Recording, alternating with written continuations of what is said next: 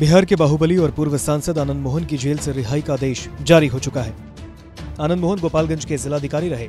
जी कृष्णैया की हत्या के मामले में सहरसा जेल में बंद थे।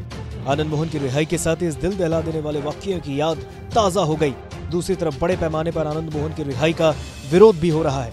आई जानते हैं आखिर वो घटना कौन सी थी, जिसके चलते 14 साल से जेल में बंद थे आनंद मोहन। चलिए आपको उस घटना के बारे में बताते हैं।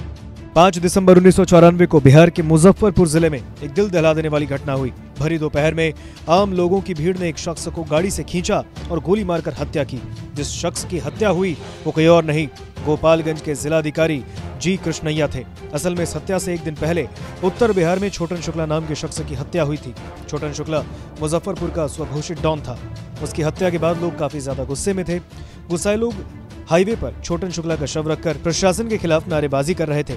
उसी दौरान जी कृष्णैया अपने सरकारी वाहन में सवार होकर उधर होते नज़र आए। उन लोगों ने सोचा कि ये मुजफ्फरपुर के डीएम की गाड़ी है, जबकि ये सच था कि हाजीपुर में मीटिंग में शामिल होने के बाद जिलाधिकारी कृष्णैया अपनी तैनाती वाले ज़िले गोपालगंज जा रहे थे। इसी दौरान वहाँ खड़ी गुस्साई भीड़ ने उनके ऊपर हमला किया। दिन दहाड़े सरिया में एक सरकारी अधिकारी की मॉब लिंचिंग ने नेशनल लेवल पर सनसनी फैला दी। मामले की सुनवाई साल 2007 में शुरू हुई। तब उसी दौरान के बाहुबली नेता आनंद मोहन, छोटन शुक्ला के भाई मुन्ना शुक्ला, अखलाक अहमद और अरुण कुमार को लोअर कोर्ट में फांसी की सजा हुई।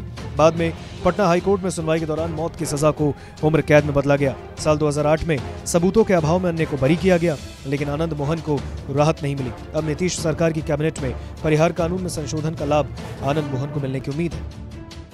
आनंद मोहन की रिहाई की कोशिश पर कई लोगों ने आपत्ति जताई। इसमें एक बड़ा नाम उत्तर प्रदेश के पूर्व मुख्यमंत्री मायावती का है। मायावती ने ट्वीट में लिखा, आनंद मोहन ने एक दलित अधिकारी की हत्या की थी। उनकी रिहाई से जनता में गलत संदेश जाएगा। वही राजपूत समुदाय से ताल्लुक रखने वाले आनंद मोहन की रिहाई को लेकर अनुमान लगाया जा रहा है कि मुख्यमंत्री नीतीश कुमार इससे सियासी हित साधने की फिराक में है।